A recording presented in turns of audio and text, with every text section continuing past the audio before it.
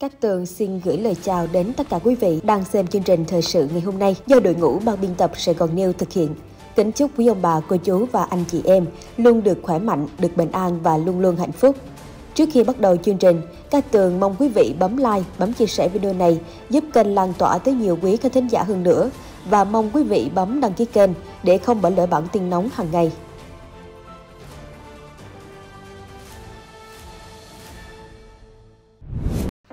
Trở lại cứu lấy Hoa Kỳ, cựu Tổng thống Trump sẽ không cho phép các nước khác từ bỏ đồng đô la. Joe Biden và đảng Dân Chủ công kích dữ dội ba thẩm phán tối cao pháp viện do Tổng thống Trump bổ nhiệm.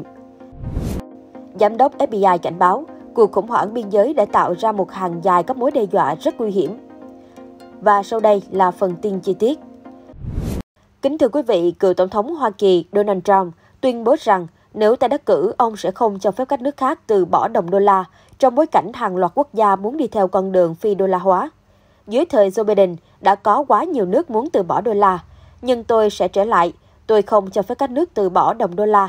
Nếu chúng ta đánh mất tiêu chuẩn này, ắt sẽ giống như đại bại trong cuộc chiến tranh cách mạng. Đó sẽ là đòn nhấn mạnh vào đất nước chúng ta, giống như thua trận trong cuộc chiến. Chúng ta không thể cho phép điều này xảy ra. Quá nhiều nước hiện đang đấu tranh để từ bỏ đồng đô la. Joe Biden và đảng Dân Chủ công kích dữ dội ba thẩm phán tối cao pháp viện do Tổng thống Trump bổ nhiệm.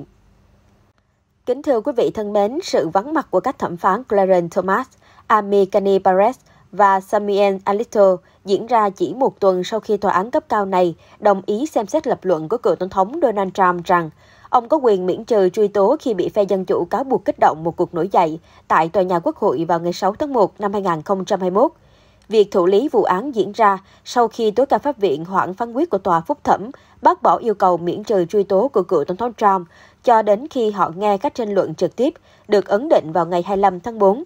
Thẩm phán Coney Perez, người được ông Trump bổ nhiệm, đã tham dự buổi đọc diễn văn thông điệp liên bang trước đây của Tổng thống Biden, trong khi cả hai thẩm phán Alito và Thomas thì chưa bao giờ đến nghe bài Soto nào của Tổng thống. Mặc dù Viện các thẩm phán tối cao pháp viện vắng mặt trong các bài diễn văn của Tổng thống là điều bình thường, nhưng đảng Dân Chủ đã biến sự vắng mặt lần này của ba vị thẩm phán trở thành một vấn đề trên mạng xã hội. Bọn họ đã công kích dữ dội, hét toán lên rằng các thẩm phán này thiên vị cho cựu Tổng thống Trump.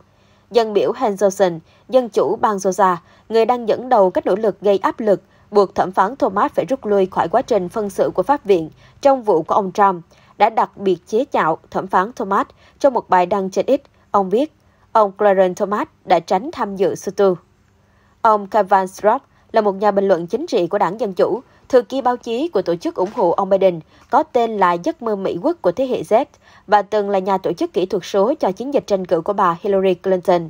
Ông cũng đăng những bình luận chế nhạo sự vắng mặt của ba vị thẩm phán theo khuynh hướng bảo tồn truyền thống này. Việc Tổng thống Biden chỉ trích cụ thể ba vị thẩm phán tối cao pháp viện này cũng làm dấy lên sự giận dữ từ các thành viên đảng Cộng Hòa như ông Gareth Franchise, một người trong cuộc của Quốc hội và có liên quan đến việc bổ nhiệm thẩm phán Brett Kavanaugh do ông Trump tiến cử. Ông đã chỉ trích Tổng thống vì đã tấn công các cá nhân thẩm phán tối cao pháp viện. Ông Franchise đăng trên X, việc ông Joe Biden công kích tối cao pháp viện khi trình bày Soto thật là kinh khủng, không thể chấp nhận được và đáng sợ hoàn toàn không phù hợp và cần bị lên án rộng rãi. Sáu thẩm phán còn lại đều tham dự và ngồi ở hàng ghế đầu để nghe bài diễn văn của Tổng thống Biden. Trong bài diễn văn, ông đã đưa ra những bình luận gay gắt nhắm vào việc pháp luật lật ngược án lệ Joe kiện quay. Ba thẩm phán không đến dự cũng nằm trong số năm thẩm phán đã bỏ phiếu lật ngược vụ này. Thẩm phán Alido, người được cựu Tổng thống George W. Bush đề cử vào năm 2005, đã không tham dự một bài diễn văn Soto nào kể từ năm 2010. Năm đó, ông bị camera ghi lại điều mà nhiều người giải thích là nói không đúng sự thật khi Tổng thống Barack Obama trừng phạt tối cao pháp viện vì đã nâng các giới hạn chi tiêu của chiến dịch. Thẩm phán Thomas, người được cố Tổng thống Bush cha bổ nhiệm vào năm 1991, đã không tham dự tất cả các buổi đọc Soto của Tổng thống Biden. Vào năm 2012, sau khi không đến dự Soto của Tổng thống Obama, thẩm phán Clarence Thomas nói với một nhóm sinh viên đại học rằng ông làm như vậy vì bài diễn văn của Tổng thống đã trở nên quá đảng phái và do đó khiến một thẩm phán không thoải mái khi ngồi nghe. Thẩm phán Thomas nói với các sinh viên tại Đại học luật Stetson, theo tờ New York Times, có rất nhiều điều quý vị không nghe thấy trên TV, đó là những tiếng huyết sáo, la hét và những bình luận xì xào. Một trong những hậu quả là giờ đây, Pháp viện trở thành một đề tài trò chuyện. Nếu các em muốn quà như vậy trong các bài diễn văn đó, đó chỉ là một ví dụ về lý do tại sao tôi không đến tham dự. Các thẩm phán tối cao pháp viện khác đã vắng mặt tại các Soto, bao gồm thẩm phán Anthony Scalia quá cố. Hơn một thập niên trước, ông Scalia đã nói rằng ông từ chối tham dự vì việc đọc bài diễn văn đó là một cảnh tượng trẻ con và không muốn có mặt ở đó để góp thêm phần trang trọng cho bài diễn văn đó. Giám đốc FBI cảnh báo, cuộc khủng hoảng biên giới đã tạo ra một hàng dài các mối đe dọa rất nguy hiểm. Thưa quý vị, hôm 11 tháng 3, Giám đốc FBI Christopher Gray đã làm chứng rằng sự gia tăng lượng người nhập cư bất hợp pháp trên khắp biên giới phía Nam đã đưa đến những mối đe dọa rất nguy hiểm cho Hoa Kỳ. Khi bị các thành viên của Ủy ban tình báo Thượng viện chất vấn, ông Gray xác nhận rằng một loạt các cá nhân nguy hiểm đã vào Hoa Kỳ thông qua biên giới Hoa Kỳ-Mexico.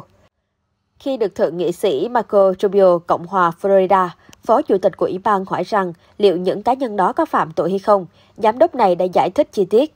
Ông nói rằng, từ góc độ của FBI, chúng tôi đang nhận thấy một hàng dài các mối đe dọa rất nguy hiểm xuất phát từ biên giới, kể cả việc buôn bán xuyên biên giới các loại thuốc như fentanyl và rất nhiều tội ác bạo lực ở Hoa Kỳ là do các băng đảng này điều khiển. Bản thân những băng đảng này cũng dính líu đến việc phân phối các loại fentanyl đó và khi bị thúc ép trả lời rằng liệu các thành viên của các băng đảng bạo lực và các tổ chức tội phạm khác đã tiến vào đất nước hay chưa và hiện có đang phạm tội hay không, thì ông Bray thừa nhận rằng họ đã có phạm tội. Tuy không nói ra chi tiết cụ thể nhưng vị giám đốc này cũng tiết lộ rằng FBI rất quan tâm đến một mạng lưới buôn lậu người cụ thể mà những người điều phối ở hải ngoại của mạng lưới này có liên hệ với ISIS. Ông cho biết FBI hiện đang làm việc với các đối tác ngoại quốc để điều tra nhóm này tội phạm bạo lực gần đây, ông Gray đã có mặt tại Capitol Hill để làm chứng cùng với một nhóm các quan chức tình báo khác về các mối đe dọa trên toàn thế giới. Những bình luận của ông được đưa ra sau khi có nhiều vụ phạm tội bạo lực được cho là do những người nhập cư bất hợp pháp thực hiện. Một vụ phạm tội như vậy là sự việc một nhóm người nhập cư bất hợp pháp tấn công hai cảnh sát của Sở Cảnh sát New York tại quảng trường thời đại hôm 27 tháng 1. Ít nhất hai trong số các nghi phạm bị buộc tội tấn công được xác định là thành viên của băng đảng bạo lực Trendy Aragua ở Venezuela. Nhiều tuần sau sự kiện nói trên, cô Laken Riley, một sinh viên điều dưỡng 22 tuổi đã bị sát hại tàn bạo tại khuôn viên Đại học Sosa. Hôm 22 tháng 2, cô Riley ra ngoài chạy bộ và không bao giờ về nhà nữa.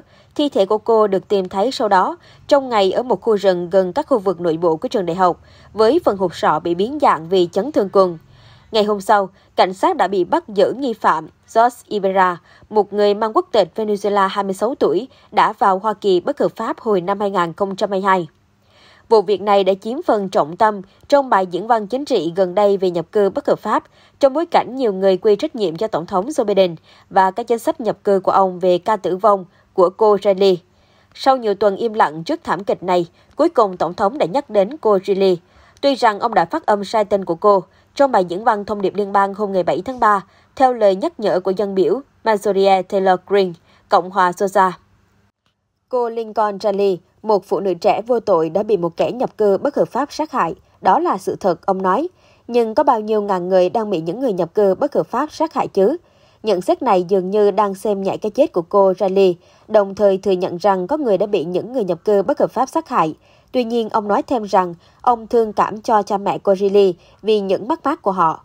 Vài ngày sau, Tổng thống Biden đã rút lại việc dùng thuật ngữ bất hợp pháp để nói về ông Ibra trong một cuộc phỏng vấn với MSNBC, nói rằng lẽ ra ông nên gọi người này là người không có giấy tờ. Trích dẫn lời xin lỗi đó trong một cuộc vận động tranh cử hôm ngày 9 tháng 3 tại Trump, Soja cựu Tổng thống Donald Trump cho biết người kế nhiệm của ông thiếu sự đồng cảm với những thăng bằng quyến thuộc đang đau buồn của cô Riley. Ông ấy không hối tiếc gì cả, không đồng cảm gì cả, không có lòng trắc ẩn gì cả. Và điều tồi tệ nhất là ông ấy không có ý định ngăn chặn cuộc xâm lược nguy hiểm để đánh cắp cuộc đời tươi đẹp quý giá của một người Mỹ tên là Likens, ông nói. Giữa lúc hàng hàng triệu người ủng hộ vẫy những tấm ảnh in chân dung của cô Riley, cựu tổng thống đã cảm ơn gia đình cô vì đã tham dự và hứa sẽ lưu giữ mãi ký ức về cô. Tôi sẽ chiến đấu như chưa có ai từng chiến đấu trước đây để bảo đảm rằng những gì đã xảy ra với cô con gái của nước Mỹ này, người Mỹ vô cùng phi thường này, sẽ không bao giờ xảy ra với những cô con gái khác hoặc bất kỳ ai khác một lần nữa. Ông nói.